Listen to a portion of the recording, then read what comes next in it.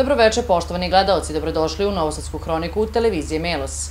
Danas je u pokrinjskoj vladi jedan konkurs realizovan, a drugi raspisan. Naime, 707 poljoprivrednika dobilo je novčana sredstva za navodnjavanje, a raspisan je konkurs kojim se bespovratno daju sredstva nosiocima starih zanata. Opširnije o konkursima gledat odmah nakon vesti koje su obeležile današnji dan.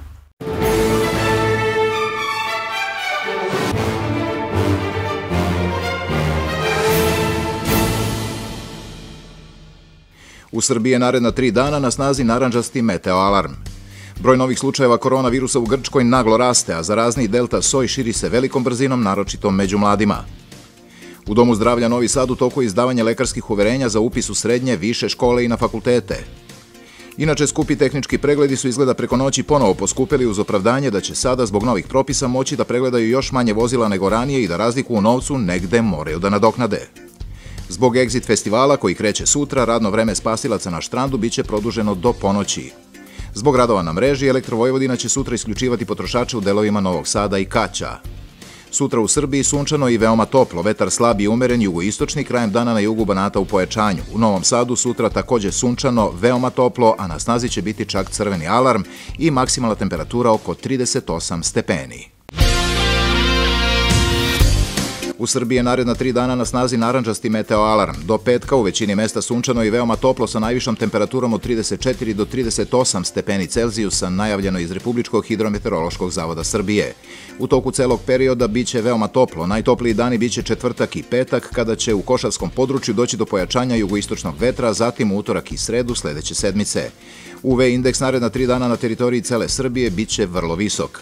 Biometeorološka situacija je relativno povoljna, opre se savetuje osobama sa srčanim tegobama. Od meteoropatskih reakcija mogu se javiti glavobolja i smanjena koncentracija.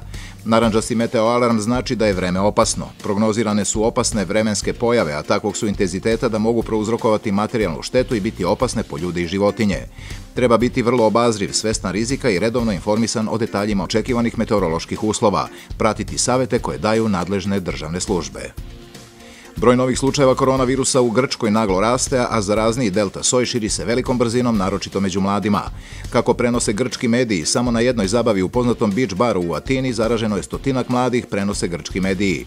Zbog toga su najavljene nove restrikcije. Od sutra svi kafići, restorani, barovi i klubovi moći će da rade samo ako imaju obezbeđena mesta za sedenje. U poslednja 24 sata registrovano je čak oko 1800 novozaraženih, od kojih više od 1000 u širem regionu Atine, a preminulo je 8 pacijenata. Na respiratoru je 168 pacijenata. Zamenik ministra civilne zaštite Nikos Hardijas upozorio je da je u poslednjih 10 dana prosečna starost novozaraženih 27 godina i da se 32% njih najverovatnije zarazilo na skupovima na otvorenom. Zarazni delta soj možda je postao dominantan i širi se Grčkom, rekao je on, i pozvao građane da se vakcinišu. Kako je dodao, zabeležen je veliki skok u broju slučajeva koji su se od 28. juna skoro utrostručili. U Domu zdravlja Novi Sad u toku izdavanja lekarskih uverenja za upis u srednje, više škole i na fakultete.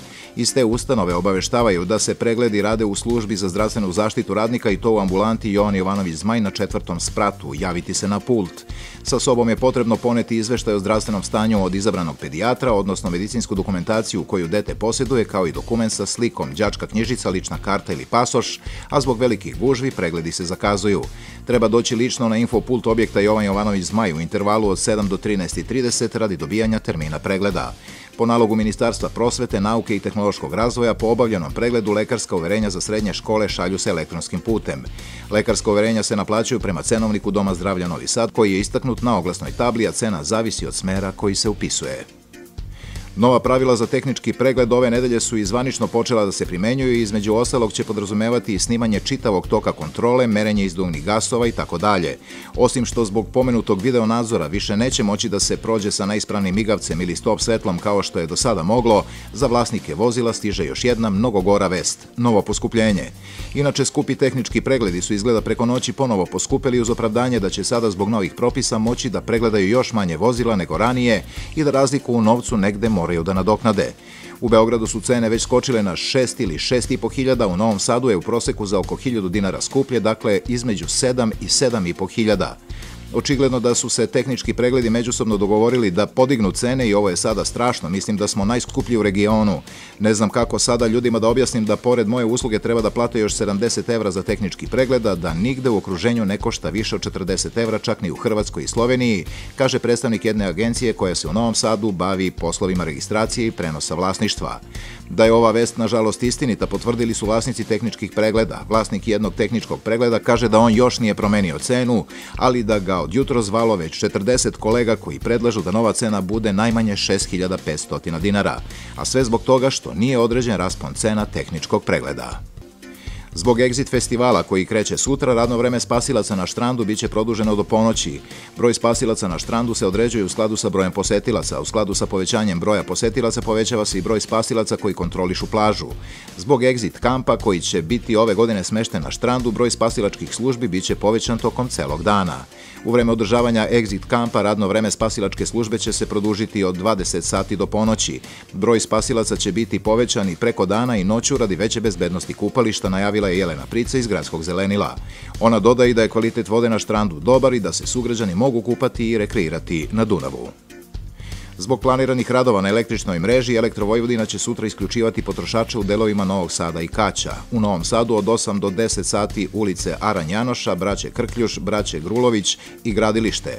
Od 8.30 do 10.30 ulica Teodora Pavlovića, od 9.30 do 11 časova i 30 minuta ulica Rakovačka, u Kaću od 8 do 13 časova i 30 minuta od ulice Svetozara Markovića do ulice Narodne vojske i naselje Siget.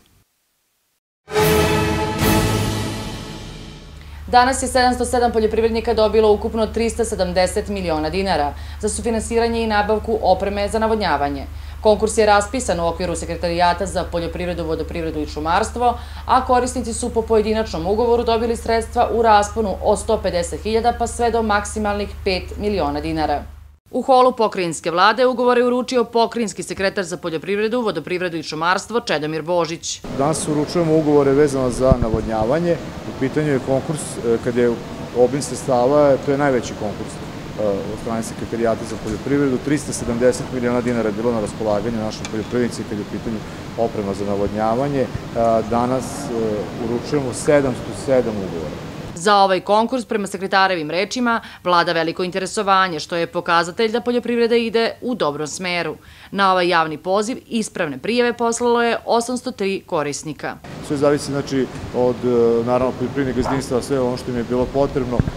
Bilo je tu opreme recimo za od 150.000 dinara do maksimalnog iznosa od 5 miliona dinara i naravno da su naši poljoprivrednici iskoristili priliku da apliciraju, ali opet vam ponavljam, 707 e, ugovora od 803 ispravne prijave, 707 ugovora je dodeljeno. To je apsolutan apsolutan uspeh i sekretarijata i naravno naših poljoprivrednika koji su podani prijeve. I poljoprivrednici kažu da su im ova sredstva veoma značajna, kako za razvoj, tako i za počinjanje proizvodnje. Tatjana Miljević iz Kukujevaca kaže da će sredstva utrošiti na mladi zasad krušaka. E, ove suše koje su bile i ove temperature, znači navodnjavanje je spas za mlade zasade. Imamo jedan od od 8 hektara, od 8 hektara, a ovaj mladi je 4 hektara. Sekretar je rekao da će putem ovog konkursa 2500 hektara da se navodnjava. On je dodao da je konkurs opravdao svoju namenu i dodao da je u planu da se i sledeće godine raspiše pod istim uslovima. U okviru posticaja malih i srednjih preduzeća danas je Pokrinjski sekretarijat za privredu i turizam raspisao konkurs za dodalu bespovratnih sredstava za razvoj i revitalizaciju poslova koji se smatraju umetničkim i starim zanatima, odnosno poslovima domaće radinosti. Ukupna vrednost novčanih sredstava ovog konkursa iznosi 5 miliona dinara. Opredeljena sredstva su namenjena za nabavku opreme od 100 do najviše 250.000 dinara i za nabavku repromaterijala u iznosu od 80 do maksimalno 200.000 dinara po korisniku. Ideja je da se podrži najveći mogući broj preduzetnika koji se bave starim zanatima. I ideja jeste dakle da pokušamo da subvencionišemo kao što je bilo i na onom većem konkursu u oblasti privrede da subvencionišemo i repromaterijal, naravno i nabavku opreme. Ono što je svakako važno jeste da se u Ministarstvu privrede vodi registar starih i tradicionalnih zanata. Mi se svakako uvek oslanjamo i nadopunjujemo sa svim pravilima koje utvrđuje vlada Republike Srbije. Sačekali smo da prvo Ministarstvo trgovine, turizma i telekomunikacije završi svoj konkurs za pomoć starijim tradicionalnim zanatima, upravo da ne bismo duplirali aktivnost. U sekretarijatu kažu da im je cilj da se objedini ponuda starih tradicionalnih zanata da bi se ti proizvodi zajedno sa turističkom organizacijom Vojvodine predstavljali na budućim manifestacijama na kojima se predstavlja i naša pokrajina. Jeste ideja da kroz ovaj konkurs pomognemo očuvanju tih zanata i posebno u seoskim sredinama, Dakle, naravno da će prednost kao i do sada imati žene preduzetnice, odnosno žene koje se bave starim tradicionalnatima, opštine, to je lokalne samuprave koje su slabije razvijene, znači treće i četvrte kategorije. Naravno, to ne isključuje da na konkursu učestvuju i preduzetnice i preduzetnici koji su u opštinama koje su prve i druge kategorije. Sekretar je još jednom podvukao da su sredstva bespovratna, da je jedino važno da se upotrebe namenski u cilju razvoja i učuvanja starih tradicionalnih zanata i dodao da ovaj konkurs obuhvata 116 delatnosti. Prepariranje i punjenje ptica i životinja, ručno pletenje ribarskih mreža, prevoz fijakerom, ručno izrada čamaca od drveta i da vam sad ne čitam, znači postoji pravilnik ovaj koji je važeći, tako da u ovom momentu mi upravo kroz ovaj konkurs hoćemo da utvrdimo tačno, pozvaćemo ih da vidimo koliko su ljudi na teritoriji autone pokrine Vojvodine bavi, da bismo mogli da u nekom narednom periodu pokušamo da taj broj povećamo, jer on jeste veoma važan, upravo kroz tradicionalne zanate obilazeći Vojvodinu i ja tu uvek navodim primer Bačkog monoštora, ovaj, vidite svu različitost kultura, teritorije autorne pokrije Vojne. Tradicionalni zanat označava veštinu. Naročito ručni rad predstavlja profesiju koja celokupan proces zasniva na izradi unikatnih proizvoda i usluga uz upotrebu prirodnih materijala i korišćenje jednostavnih alata.